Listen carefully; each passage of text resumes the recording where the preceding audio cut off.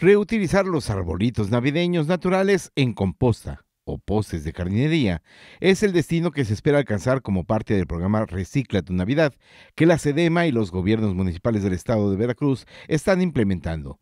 Dio a conocer Felipe de Jesús Gabriel, director de Medio Ambiente en Banderilla. Asimismo, pues se hacen algunas actividades con estos árboles, que es la recreación. ¿Por qué? Porque llevamos a hacer algunas, este, bueno, actividades de compostaje, que también el municipio participa en esta parte con las ramas de los árboles y algunas jardineras que se están haciendo por parte de la Secretaría.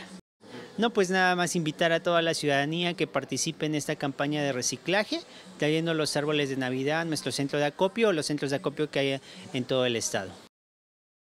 La recepción de los árboles se realiza a un costado de la Comisión Municipal de Agua y Saneamiento de Banderilla, pues estos elementos que dieron alegría en días pasados son importantes para seguir generando vida y agua, lo cual es indispensable. Luis Antonio Luna Ortega, RTV, más noticias.